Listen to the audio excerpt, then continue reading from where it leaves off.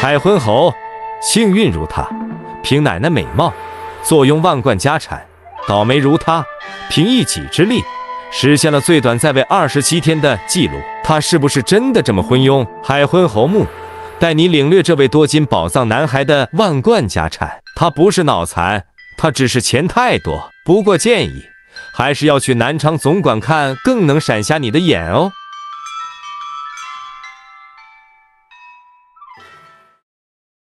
旋转、跳跃、闭上眼。这位多金的宝藏男孩，在美女奶奶李夫人的庇佑下，度过无忧无虑的童年后，被一举推上皇位。这概率类似于 King 查尔斯的第二任老婆卡米拉的十三岁孙子继位。汉武帝的孙子刘贺在《汉书》里被形容的荒淫无度。《汉书》记载，受洗以来二十七日，使者庞武时节召诸官属征发，凡千一百二十七事。翻译成现代文就是：上位二十七天，做了一千件坏事，平均每小时做一点五件坏事。但其实这位坏男孩远没有罪不可赦，吃喝玩乐外，还精于书画、音乐、围棋，性格积极进取，阳光开朗。刘贺最大的优势是不谙世事，所以在霍光加持下幸而成王。但这优势最后也败了他的前途。年轻稚嫩，过河拆桥。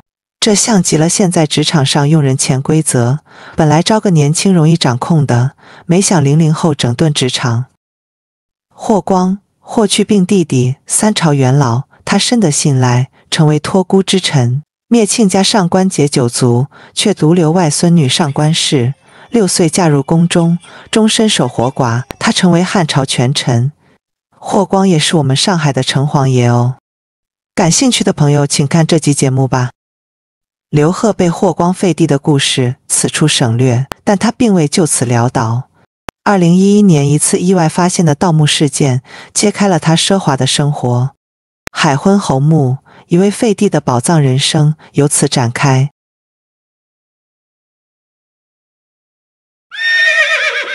飞驰入汉朝，营门这个字，我一直以为是个汉，才知道是汉传的海，这是海昏侯国的标志。汉承秦制，初用篆书，后改隶书。蒹葭苍苍，白露为霜。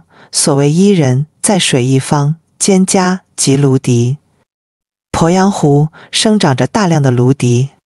刘贺墓所在的海昏侯国遗址就在湖的西面，海就是鄱阳湖，昏代表太阳落下的西方。据说这也是海昏名字的由来。刘贺被废后，被逐回昌邑，被人长期监视软禁，直到霍光死后几年，刘贺侄子汉宣帝封故昌邑王刘贺为海昏侯，在海昏县建立侯国。海昏侯国延续到东汉末年，刘贺一脉于此繁衍生息达百余年。二零一一年发现的汉代古墓群中，有一座甲字形的墓，让人亮眼。甲字形墓即为侯位。从商朝开始，天子的墓呈亚字状，有四条墓道；王室为中字状，而侯爵为甲字状。刘贺的墓坐北朝南，四百平米。主椁室位于墓室中央，主椁室外为东西北为器物藏椁，靠墓道的南回廊为车马库和音乐器具库。椁室与外围有零点七米的过道。主椁室东寝西堂，是模仿刘贺生前居所。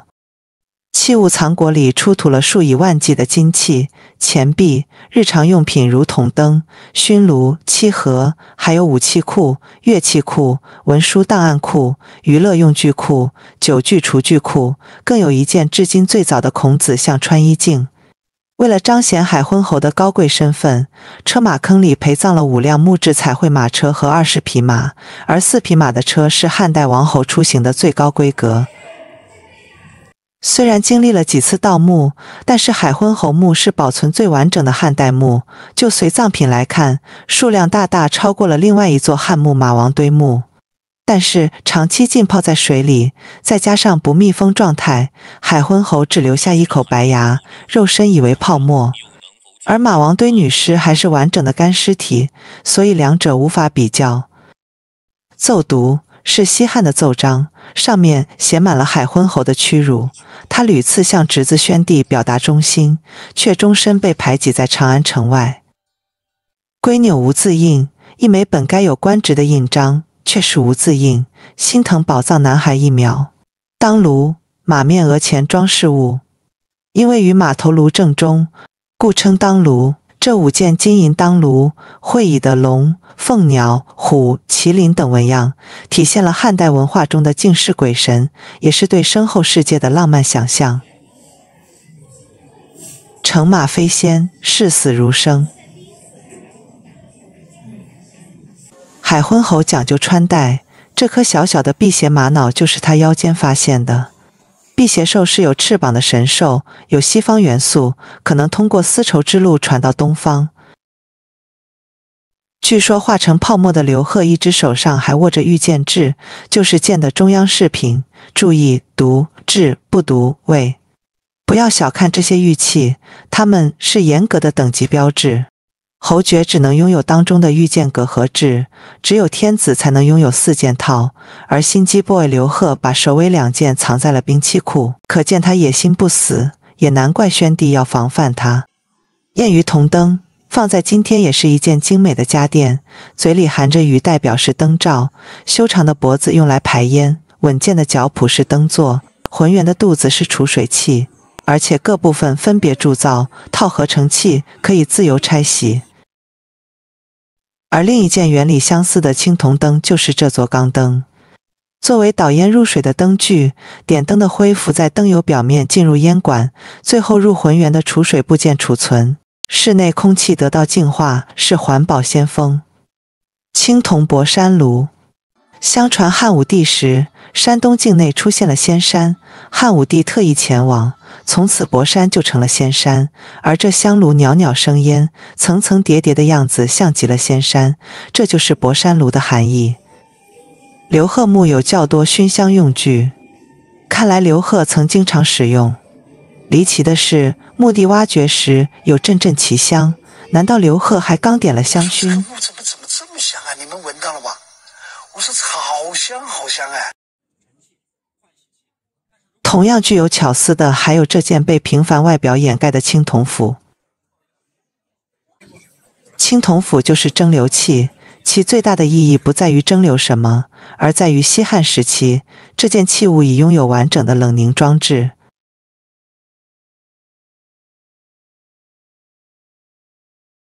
热爱歌舞的海昏侯怎么可以没有音乐呢？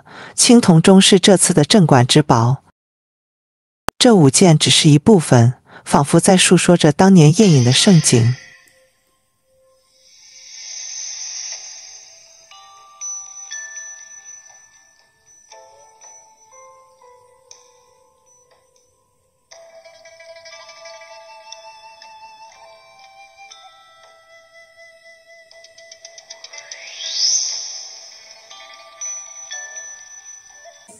这个微笑的小动物叫巨，巨悬挂编钟木架的立柱，多是以猛兽形象。古人希望敲编钟时声音能如这些神兽。你们能看出这些是什么动物吗？终于来到了万众期待的部分——黄金。海昏侯墓也称为黄金大墓，出土的黄金达到一百二十吨，可惜只活了三十三年。人在天堂，钱在银行，还是地下银行。鸟蹄金、神马止足、麟指金、麒麟之足，这些形状都与汉武帝升仙愿望有关。汉武帝四处巡游，就是寻找升仙术。天马的蹄、麒麟的指，都是可以飞上天的。汉武帝的升仙梦也透过麟指金、鸟蹄金表现了出来。除了多金，刘贺还是钱多多。据说当年出土的铜钱有十吨，负责清点铜钱的考古人员数钱数了半年，手都抽筋了。